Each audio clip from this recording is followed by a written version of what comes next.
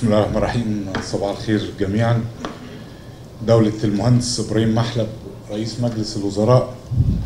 الدكتور رفعت الفاعوري مدير عام المنظمة العربية للتنمية الإدارية.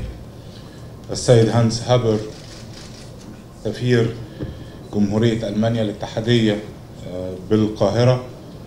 السيدات والسادة ضيوف مصر الأعزاء السادة والسيدات الحضور الكريم اسمحوا لي بداية أن أتوجه بخالص الشكر وعظيم التقدير للسيد المهندس إبراهيم محلب رئيس مجلس الوزراء على تكرمه برعاية هذا المؤتمر وعلى تشريفه لنا بالحضور في جلسته الافتتاحية.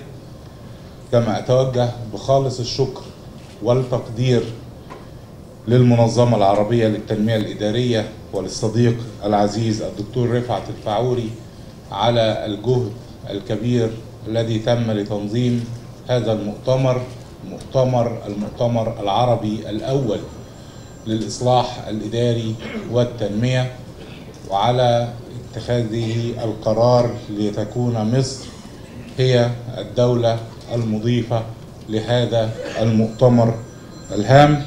كما لا يفوتني أن أتوجه إلى الوكالة الألمانية للتعاون الدولي جي اي زد بكل الشكر والتقدير على دعمها الكامل لهذا المؤتمر.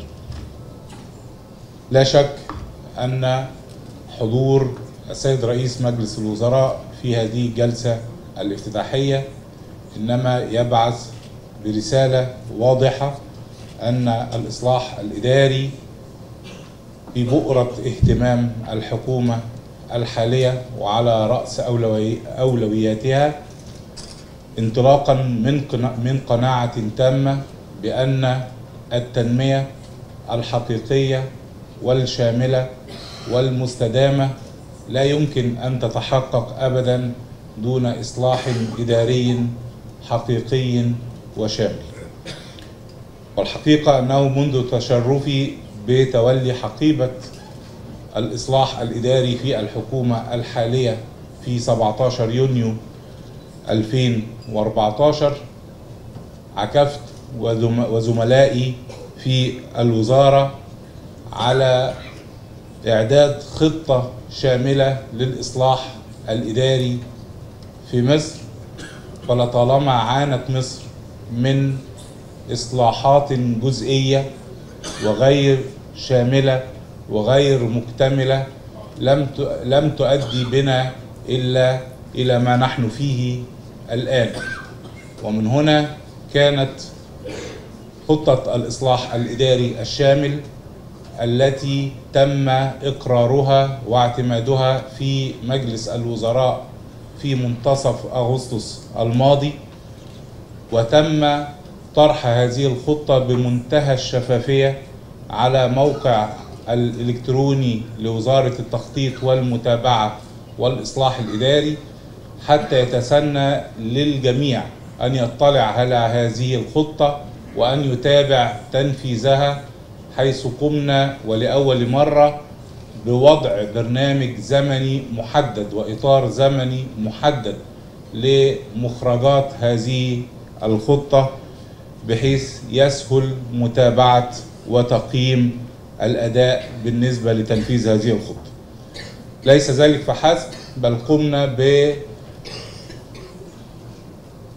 بتشكيل لجنة عليا للإصلاح الإداري تضم كوكبة من أفضل خبراء الإدارة في مصر بالإضافة إلى الخبراء في وزارة التخطيط والمتابعة والإصلاح الإداري والجهاز المركزي للتنظيم والإدارة حتى يتسنى لهذه اللجنة أن تتابع أسبوعيا تقدم العمل في تقديم وفي تنفيذ هذه الخطة. والحقيقة أن خطة الإصلاح الإداري كما طرحناها تتألف من سبع محاور أساسية وهي أولا مراجعة الإطار التشريعي المنظم لأعمال الجهاز الإداري للدولة رفع كفاءة وفعالية الجهاز الإداري للدولة تطوير قدرات العنصر البشري العامل بالأجهزة الحكومية تطوير الخدمات العامة المقدمة للمواطنين رفع كفاءة إدارة الأصول العامة تعزيز الشفافية والنزاهة في أعمال الجهاز الإداري للدولة. وأخيرا تعزيز ثقة المواطن في الجهاز الإداري للدولة. وتتكون هذه الخطة من 28 مشروع مقسمة جميعها على المدى القصير شهر ثلاث شهور أربع شهور ست شهور.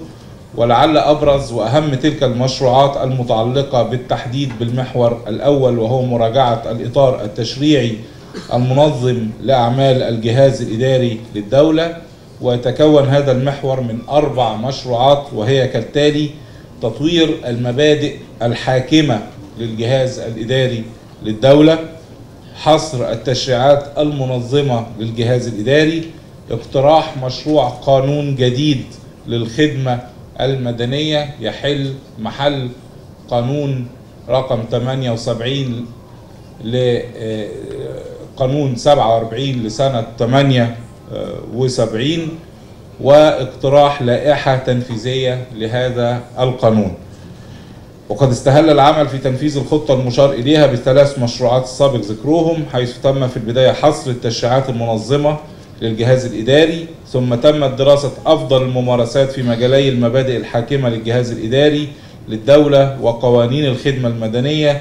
وفي ضوء تلك الدراسات تم اقتراح مشروعي المبادئ الحاكمة للجهاز الإداري للدولة ومشروع القانون الجديد للخدمة المدنية الذي تم ولله الحمد الانتهاء منه وإقراره في مجلس الوزراء وفي مجلس الدولة وجاري إصداره قريبا بإذن الله. وسيتم وأعلم أنه سيتم تناول المشروعات ببرنامجها الزمني تفصيليا في إحدى جلسات هذا المؤتمر إلى جانب تخصيص جلسة لعرض مبادئ مشروع قانون الخدمة المدنية الجديد. السيدات والسادة الحضور الكريم أود في ختام كلمتي أن أؤكد أن مصر والحكومة المصرية وعلى رأسها القيادة السياسية تدرك تمام الإدراك أهمية الإصلاح الإداري وأننا بإذن الله على الطريق الصحيح لتحقيق واستعادة معدلات التنمية العالية التي تعود بالنفع وتحقق المعادلة الصعبة والتوازن بين هدفي النمو الاقتصادي والعدالة الاجتماعية. النمو الاقتصادي والعدالة الاجتماعية. وقد أثبتت كل التجارب وأكدت جميع الأدبيات أنه بدون عدالة اجتماعية حقيقية لن تستطيع أي دولة تحقيق تنمية اقتصادية وتنمية اجتماعية مستدامة. ومن هنا فإن وجود خطة للإصلاح الإداري ومتابعة تنفيذ هذه الخطة بإذن الله سينعكس إيجابيا خلال الفترة القادمة على معدلات التنمية والنمو والعدالة الاجتماعية في مصر خلال الفترة القادمة.